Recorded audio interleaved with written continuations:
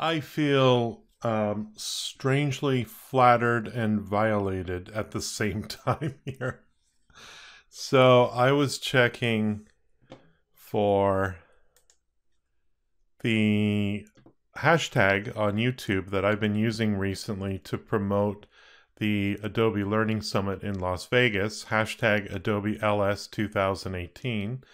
You know, and I saw a few of my videos and then I saw one of my videos, but it was missing the thumbnail, and I thought that was really odd. So I thought, well, geez, maybe I made this video unlisted and I forgot to uh, actually make it unlisted or something like that. And uh, when I clicked on it, it's like, okay, well, this is definitely my video, Captivate 8 Tips and Tricks with Paul Wilson, right? I'm Paul Wilson.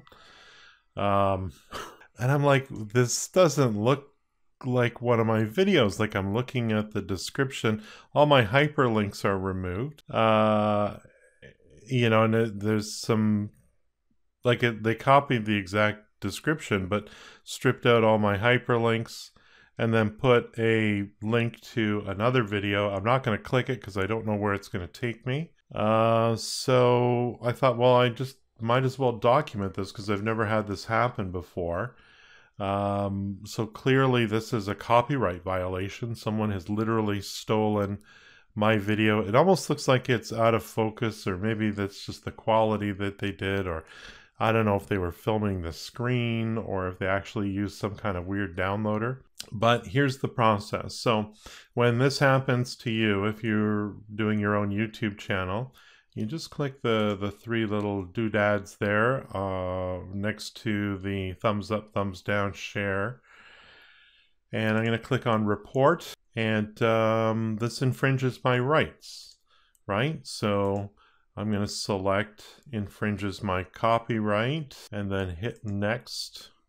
And it brings me to the Google support uh, claim here and some information about that and confirm that I'm not a robot and uh, da, da, da, privacy trademark and uh, copyright infringement.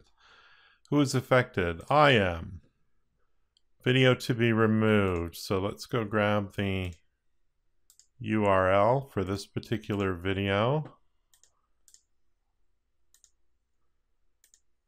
And uh, yeah, so this this first example would be that. So my YouTube video was re-uploaded by another user. And let's go find my original video if I can.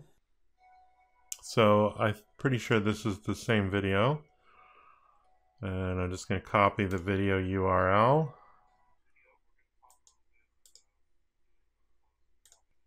And I'm checking off it's the entire video.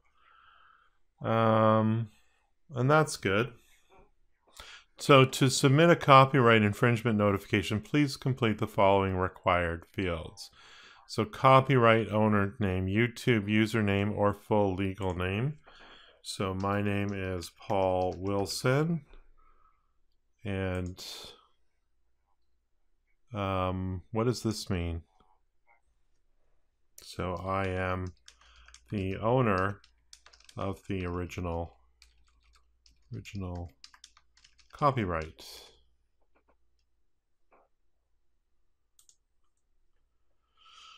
Um, this is fine.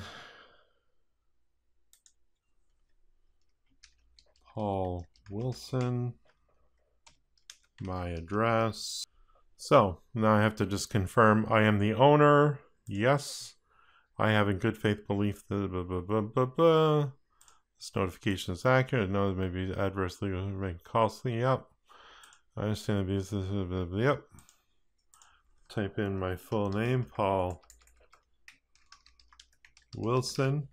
Let them know once more that I'm not a robot. Submit complaint.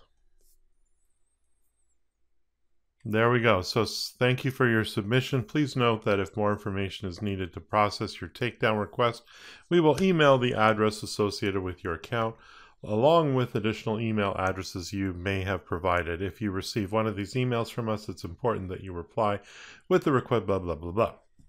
So there you go. Um, interesting. So again, it's like I said, it's a weird feeling because um, I'm a little bit flattered that someone feels that my content is worth taking.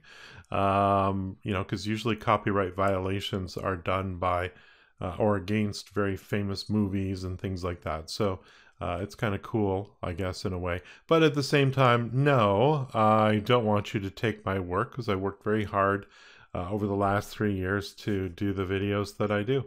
So, uh, no, I don't think it's a good idea that you can take my stuff and repost it as your own. So, there you go.